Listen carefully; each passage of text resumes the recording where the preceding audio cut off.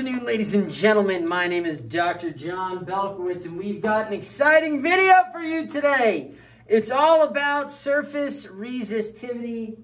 We got a fun package in today, today, last week, from Proceq, so I'm excited to do another unboxing. So let's go ahead and get to work here, folks. So while I'm unboxing this, what this is, is a surface resistivity meter from Proceq. Um, oh gosh, I just forgot the name of it. Do you remember the name of it, bro? The meter? The meter. That is exactly what it's called. Well, that's what they call authenticity, folks. So, um, this is called, see, the Resipod. Ooh, I love the name of it. The Resipod so, meter. No, it's just the Resipod. Yeah. Yeah, so this is from Proceq, and what it is is a surface resistivity meter. Um, and, and, what we use surface resistivity for, especially a lot of different DOTs, Department of Transportations, are using surface resistivity uh, as a means to identify the permeability and then the durability of concrete. We've got a few other videos out there on bulk electrical resistivity, not surface resistivity.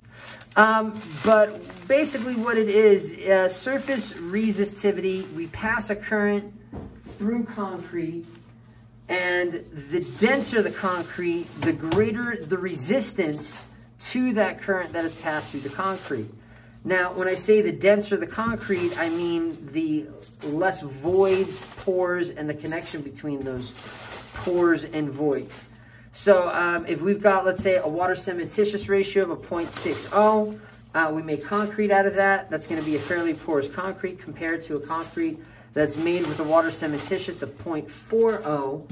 So that being said, because there's less pores or pore connectivity or percolation, the connection between pores, that means there's going to be less water in the concrete, or uh, there's going to be more water in the concrete with a more porous concrete, and therefore there'll be more pore connections with pore water, and it'll be easier for the current to pass through it, meaning we'll have a lower resistivity, a lower value on this, or the reciprocal of the resistivity is conductivity. So a lower resistivity means a higher conductivity. And in that case, we have a higher conductivity, we have a less durable concrete. Less durable to physical as well as chemical attack. Okay, so we've uncovered the buried treasure. Very exciting. Okay, I think that's enough, right? Whoa, so nice. Brooke, you want to take that box? Brooke, say hi to everybody. Hello, everybody. Okay, so what do we have here? Very exciting. Whoa, so this, I'm guessing, is how you calibrate it. Look how pretty this stuff is. All right, so this is what it's included. This is the Resipod. Um, they give you some stuff to calibrate, to plug it in. Uh, there's also a USB port under here. Um, but before you can get to work on this, uh, you got to fill it up with water. So let's go ahead and get some water in here, but basically it's very, very easy. So what we're gonna do is we're gonna have our cylinder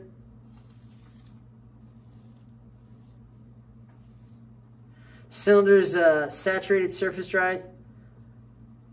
That's not how you spell it, but.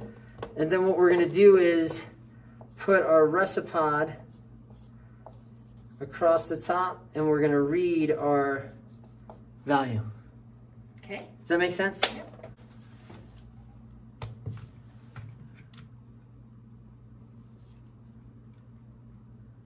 You don't even have to plug it in? 11.1? No, that was it. Wow. I told you.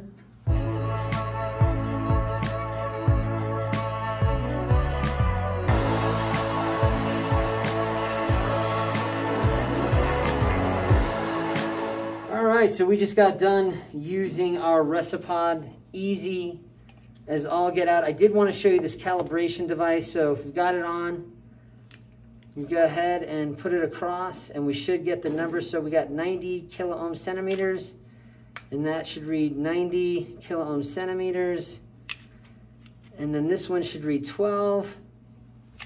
And we got 12. So a nice, quick, and easy calibration device. I tell you, really easy piece of equipment. I like it. Um, a lot of DOTs are going to this, especially for durability of concrete. And I tell you, for use in the lab, uh, I don't, I don't mind at all. There's uh, bulk electrical resistivity. We put a link for that video and that review down below. So thank you very much to Proceq for sending this out to us, letting us use it, do a tech review on it. If you have any questions, let us know. Don't forget to like and subscribe. Ding that bell for notifications. Go concrete! Beat asphalt.